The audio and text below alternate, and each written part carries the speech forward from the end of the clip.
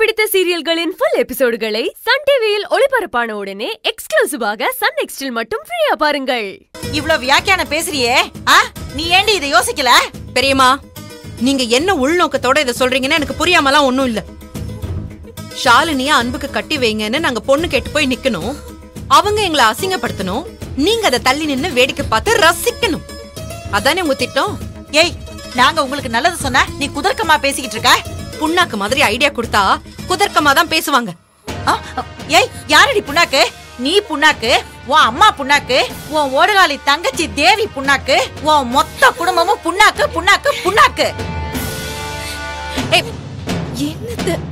அடியே தேவி வாழாவெட்டி ஆனதுக்கும் மூர்த்தி குடிகாரன் ஆனதுக்கும் அன்பு பொறுக்கித்தனம் பண்ணதுக்கும் ஆனந்தி பிரபு விஷயத்துல மாட்டிக்கிட்டதுக்கும் நீதாண்டி காரணம்.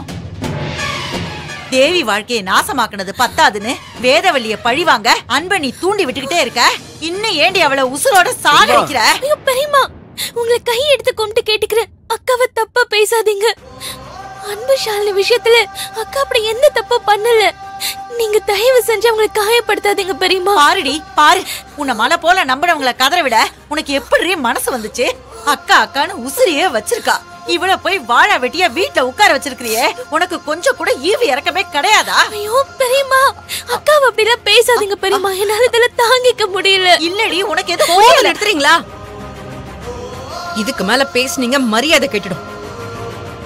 என் தங்கச்சிய சும்மா அழ வைக்கிற வேலையெல்லாம் வேணாம். அவங்க ஏதாவது லூசு மாதிரி பேசிக்கிட்டே தான் இருப்பாங்க. காமாட்சி ஒரு நிமிஷம் வாமா உங்ககிட்ட கொஞ்சம் தனியா பேசணுமா? அதான் கூப்பிடுறாருல வாயேன். சொல்றாருல்ல வா. ஏங்க என்னங்க இதெல்லாம்? இருடி அம்மா கிட்ட பெரியப்பா பேசிட்டு வரட்டும். ஏமா காமாட்சி உங்களுக்கெல்லாம் என் தம்பி மக கையில என்னம்மா பாவம் பண்ணா? உன் பசங்க ஏன் அவன் நிம்மதியை கெடுக்கிறதுக்குன்னு அலையறாங்க? இங்க நடக்கிற பிரச்சனையெல்லாம் பார்க்கும்போது எனக்கு ரொம்ப தர்ம சங்கடமா இருக்குமா? உன் பசங்க இப்படி சுயநலமா இருக்கிறத பார்க்கும்போது என் மனசே உடைஞ்சு போகுது. வயசுல சின்னவனா இருந்தாலும் மூர்த்தியை விட அன்பு பொறுப்பானவன் குடும்ப கஷ்டம் புரிஞ்சு நடந்துக்குவான்னு நான் மலை போல நம்பிக்கிட்டு இருந்தேன். அவன் இப்படி கயல தலகுனிய வைப்பான்னு நான் கனவுல கூட நினைச்சு பார்க்கல. இவ்வளவு நேரம் கயல் மேல பாசம் இல்லாம தான் ரெண்டு பேரும் கத்திக்கிட்டு இருந்தா நினைச்சியா? சுத்தி இருக்கிறவங்களுக்கு உரைக்கணும் தான் வடிவு கயல் கிட்ட அந்த கத்து கத்துனா எனக்கு என்னமோ தெரியல காமாட்சி. கயலை பார்க்கும்போது எனக்கு என் தம்பியை பார்க்குற மாதிரியே இருக்கு. அவளோட அந்த நட தோரணை கம்பீரம் வீராப்பு அப்புறம் இந்த குடும்பத்துக்காக உழைக்கிறதுன்னு அப்படியே என் தம்பி மாதிரியே இருக்கா? ஆனா கால கொடுமைய பாத்தியா? மத்தவங்க நல்லா இருக்கணும்னு யோசிக்கிறவங்கள தான் கடவுள் தொடர்ந்து சித்திரவதை பண்றான். எல்லாரோட நலனை பத்தி யோசிக்கிற கையல் அவளுக்குன்னு வரும்போது மட்டும் அப்புறம் பாத்துக்கலாம்னு தள்ளி போட்டுறா அதுக்கு நிச்சயமா நான் அவளை பழி சொல்ல மாட்டேன்.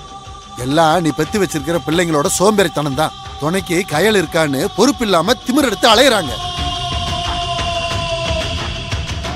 மூர்த்திக்கு தொழில் பிரச்சனை ஆனந்திக்கு பிரபு பிரச்சனை அன்புக்கு காதல் பிரச்சனை தேவிக்கு வந்து அவங்க மாமியார் பிரச்சனை. எல்லா பிரச்சனையும் சரி செய்யறதுக்கு கயலுக்கு நேரம் பத்தலம்மா. குடும்ப பாரத்தை சுமக்கிறதுக்காக அவளோட வாழ்க்கையை அடமானம் வைக்கிறது எந்த விதத்துல நியாயம்? என் தம்பி உசுரோட இருந்திருந்தா அவளை இந்த நிலைமையில வச்சிருந்திருப்பானா? எப்பவோ கையலுக்கு பண்ண வேண்டிய நல்லதெல்லாம் பண்ணி முடிச்சிருப்பான். அது ஏன் உனக்கு தோணல? தோணாம இருக்குமா மாமா? நான் அழுதுட்டேன் சண்டை போட்டுட்டேன்.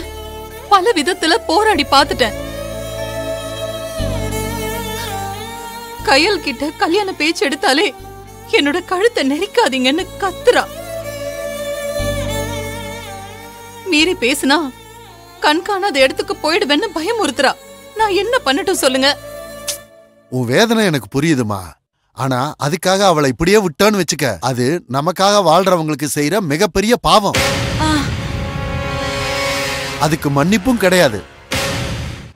என் தம்பி ஸ்தானத்துல இருந்து நான் தான் அவளுக்கான வாழ்க்கை துணையை அமைச்சு கொடுக்கணும். ஆனா அவ என் பேச்ச காது கொடுத்தே கேட்க மாட்டேங்கிறாளே. அவளுக்கு என் மேல அவ்வளவு வன்மம். அது ஏன் தான்னு தெரியல.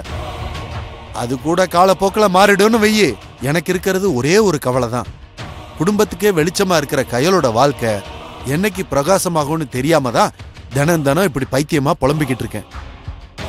அவளை பத்தி கவனிக்கவோ அவ வாழ்க்கையை சரியாக்கவோ இங்க யாருக்கும் நேரம் இல்லை. என்ன கொடுமை இது? கயலோட எதிர்காலத்தை நினைச்சாலே கவலையா இருக்குமா? ராத்திரி முழுக்க தூக்கம் வர மாட்டேங்குது. கண்ணை மூணு நாளே மாலையும் கழுத்துமா? என் தம்பி மக தனியா அழுதுகிட்டு இருக்கிற மாதிரி கனவு வருதுமா?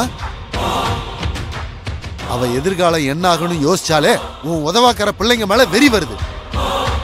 இத சொன்ன ஓவரா நடிக்காதீங்க பெரியப்பான்னு கயல் என்னையவே காயப்படுத்துறா.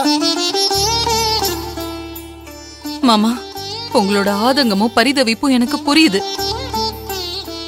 முடிஞ்சத பத்தி யோசிக்க கூடாது. எதிர்காலத்துல என்ன ஆகுமோன்னு பயப்படவும் கூடாதுன்னு சொல்லுவாங்க. புருஷனை இழந்த எனக்கு தண்டனை இன்னும் முடியல மாமா.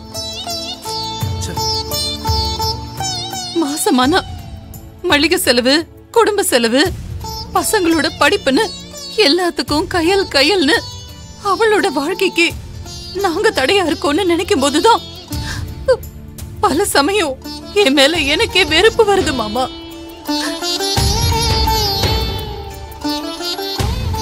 வெறுப்பு கடுப்புன்னு புலம்புனா மட்டும் போதுமா? என்ன பண்ண அவ கல்யாணத்துக்கு சம்மதிப்பாளோ? அதை நீங்க யோசிக்கணும்ல? அதுதான் புத்திசாலித்தனம். எனக்கு அந்த சூட்சமும் தெரியலக்கா. ஆனா இனிமே கையல் தன்னை பத்தி மட்டும்தான் யோசிக்கணும்.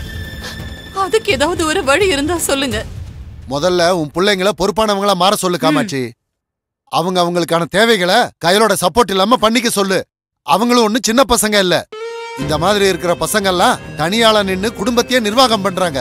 ஆனா இவங்க என்னடான்னா எதுக்கு எடுத்தாலும் அக்கா அக்கான்னு எல்லாத்துக்கும் அவகிட்டே வந்து நிக்கிறாங்க. அவங்க கடமைகளை நிறைவேற்றலாம் காமாட்சி. ஆனா திமிரெடுத்து வீண் பிரச்சனைகளை இழுத்துட்டு வந்தா என்ன பண்ண முடியும் சொல்லு? அதை நினைக்கும் போதுதான் கடுப்பா இருக்கு. கையில் இவங்க எல்லாரையும் தேத்தி சமுதாயத்துல ஒரு அந்தஸ்துக்கு கொண்டு வரணும்னா குறைஞ்சது எட்டு வருஷமாவது ஆகும். அப்புறம் கயல் வாழ்க்கை என்ன ஆகுறது? இவ வயசுல உள்ள பொண்ணுங்கெல்லாம் குடும்பம் குழந்தை குட்டின்னு சந்தோஷமா இருக்காங்க. ஆனா கையலு இன்னும் அதே தம்பி தங்கச்சி முன்னேற்றம்னு பிரச்சனையோடவே போராடிக்கிட்டு இருக்காங்க அவ என்ன வீட்டை விட்டு போன்னு சொல்லும்போது கூட எனக்கு கோவம் வரலமா ஆனா இந்த பசங்க பண்ற அட்டூழியத்தை நினைச்சாதான் எனக்கு ஆத்திர ஆத்திரமா வருது. இத்தனை அவமானப்பட்டும் எதுக்கு நான் மூர்த்தி கயலு ஆனந்தி அன்புன்னு இந்த வீட்டுக்கு ஓடி வரேன் எல்லாம் என் தம்பி குடும்பத்து மேல உள்ள பாசம் தானே? அந்த பாசத்துக்கு ஒரு மதிப்பு கொடுக்க சொல்லுமா? முதல்ல உன் பசங்களை மாற சொல்லு. தானாவே கயல் வாழ்க்கையும் மாறிடும். நீங்க சொல்றதெல்லாம் சரிதான் மாமா. ஆனா இப்ப சொன்னா கையல் எப்படி தன்னை பத்தி யோசிப்பா? எனக்கு என்ன பண்றதுன்னே தெரியல. ஆமா ஐடியா கொடுத்துட்டா மட்டும் அப்படியே செஞ்சிடுவ பாரு. உனக்குன்னு எதுவுமே தோணாதா? வடிக்கிறது கொட்டிக்கிறது மட்டும் தான் தெரியுமா? அதை விட்டா ஏங்க இப்படி பண்றீங்கன்னு லூசு மாதிரி செத்து போன உன் புருஷன் போட்டோ முன்னாடி நின்னு சண்டை போடுவ. மிஞ்சினா வீட்டு தூணை பிடிச்சுக்கிட்டு கண்ணை கசக்கிட்டு இருப்ப. என்னக்கா இப்படி பேசுறீங்க? ஐயோ நான் மட்டும் உன் இடத்துல இருந்திருந்தேன்னு வச்சுக்கோ. நான் பெத்ததுங்களால கையலுக்கு சிரமம் கொடுக்க கூடாதுன்னு அதுங்க திங்கிற சோத்துல விஷத்தை கலந்து கொடுத்து பெத்த பாவத்துக்காக நானும் ரெண்டு வாய் சாப்பிட்டுட்டு பரலோகம் போய் சேர்ந்திருப்பேன். ஆனாலும் நீங்க அவளை இப்படி சித்திரவதை பண்ணக்கூடாது. கட்டி போட்டு சாகடிக்காத குறையா டார்ச்சர் பண்ணிக்கிட்டு இருக்கீங்க.